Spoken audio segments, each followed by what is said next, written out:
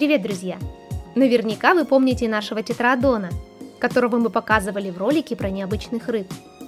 Нам настолько понравилась эта рыбка, ее удивительный внешний вид и поведение, что мы решили завести еще одну рыбу-шар.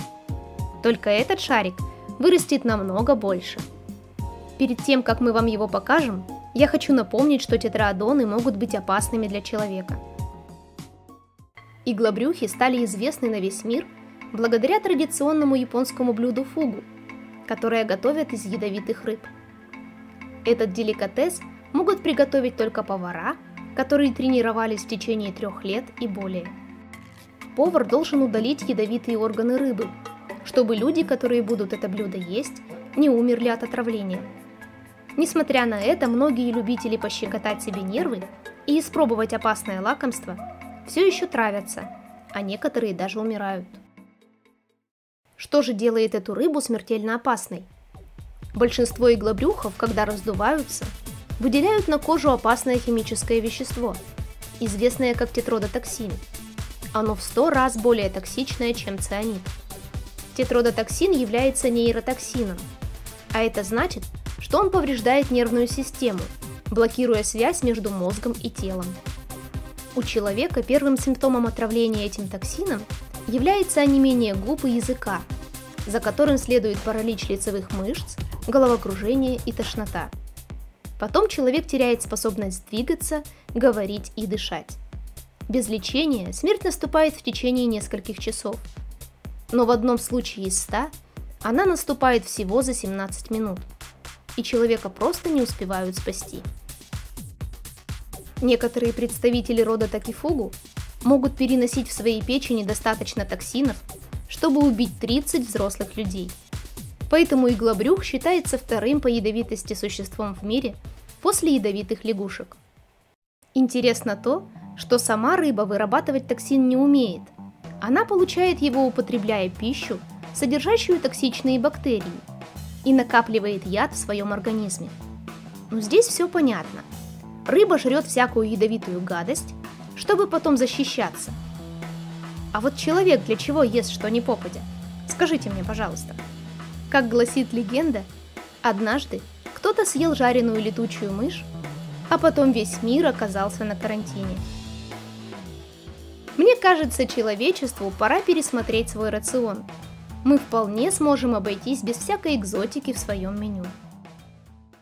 Из-за любителей экстрима некоторые виды тетраодонов находятся под угрозой исчезновения.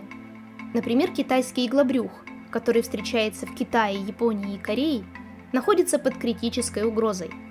Его популяция сократилась на 99% за последние 40 лет. Конечно, это связано с неконтролируемым отловом, Рыбаки добывают эту рыбу в огромном количестве для туристов и местного населения, не задумываясь о последствиях. Ну что ж, а теперь давайте знакомиться.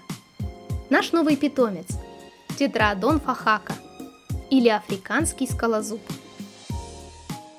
Пока он у нас еще маленький, а вообще шар фахака может вырасти до 45 см длиной и весом до 1 килограмма.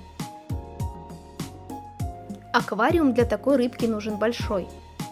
На первое время мы поселили его в наш аквариум с живыми растениями, объемом 150 литров. Здесь у нас живут ктинопомы и многопер.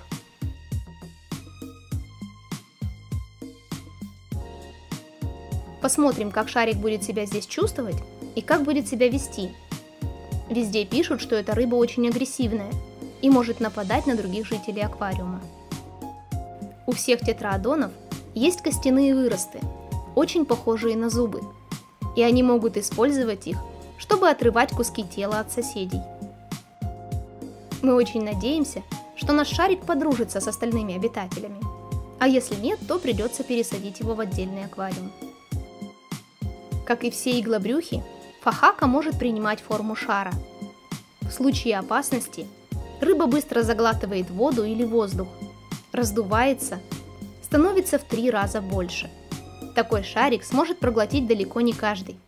И даже если это произойдет, многочисленные иголки, разбросанные по всему телу, нанесут серьезные ранения неосторожному хищнику. И скорее всего, он выплюнет колючий шарик обратно. Конечно, нам захотелось увидеть надувательство собственными глазами и показать это вам. Все, кто захочет написать «Вы издеваетесь над рыбой», идите мимо. Мы делаем это в образовательных целях. И к тому же это естественный процесс, который вреда рыбе не принесет. Хоть наш тетраодон, скорее всего, не токсичный, потому что не питается теми ядовитыми бактериями, мне все-таки не хочется рисковать, поэтому я надену перчатки.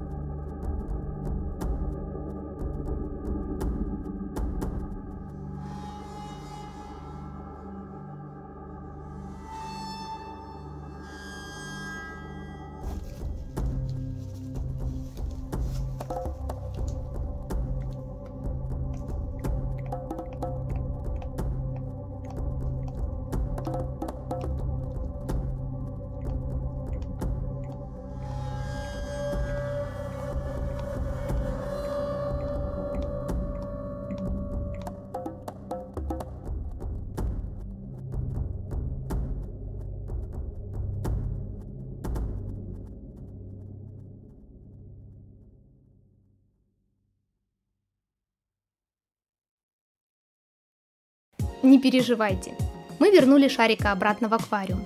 С ним все в порядке. На всякий случай я пока не буду совать руки в аквариум. Кто знает, что у него на уме. Пусть спокойно поплавает и все забудет. В природе шар фахака обитает в реках и озерах Африки, среди зарослей водных растений. Питается в основном моллюсками. Живет он довольно долго. Максимальная продолжительность жизни этих рыб около 10 лет. За тетраодоном ужасно интересно наблюдать. Шарик способен плыть в любом направлении. Вперед, назад, вверх, вниз, куда угодно. Он очень маневренный. И глазами он может вращать в разные стороны. Причем независимо друг от друга. По-моему, никакая другая рыба это не умеет. И вообще, я только у хамелеонов такую способность видела. Это очень необычно для рыб. Если ближе присмотреться к глазам тетраодона, то можно разглядеть в них целую галактику. Или вид нашей планеты из космоса. А может быть даже морские глубины. В сообществе мы выкладывали фотографию глаза тетраодона и просили вас угадать, что это такое. Вариантов было много. Что это вид аквариума сверху, чья-то икринка или ядро клетки под микроскопом. О, это было бы круто, если бы у нас был микроскоп но пока нам не по карману такие покупки. Если у кого-то из вас есть ненужный микроскоп, будем рады принять его для съемок. У нас столько интересных идей. Кстати, многие ответили правильно, что на самом деле это глаз рыбы. Молодцы. Согласитесь, глаза у тетрадонов какие-то особенные. А еще тетрадоны запоминают хозяина и привязываются к нему. Прямо как собаки, не зря их называют водными собачками. Шарик выплывает из зарослей при появлении хозяина и кружится на одном месте, в ожидании корма. Он может есть прямо с рук и даже дает себя погладить. В домашних условиях иглобрюхов кормят рыбой, креветками, мидиями, кормовыми насекомыми и, конечно, улитками. Улиток нужно давать целиком, прямо с панцирем, чтобы, разгрызая их, Шарик стачивал свои зубы, которые растут на протяжении всей жизни. Если у него не будет такой возможности, то зубы могут отрасти слишком сильно, и шарик не сможет питаться. Молодых рыбок кормят через день, а взрослых два раза в неделю. Аквариумисты замечают, что когда тетрадон голоден, он всем своим видом и поведением будет показывать, что хочет есть. Он может начать раздуваться, грызть оборудование или декорации. Мы стараемся не допускать, чтобы наш шарик был сильно голодным, иначе он станет нападать на соседей. Если у кого-то из вас есть опыт содержания шара фахака, то расскажите нам об этом в комментариях. Пожалуйста, напишите, понравилась ли вам эта рыба, и вообще интересны ли вам такие ролики, или вы хотите видеть что-то другое на нашем канале. Нам очень важно знать ваше мнение. Всем спасибо за просмотр. До новых встреч. Пока-пока.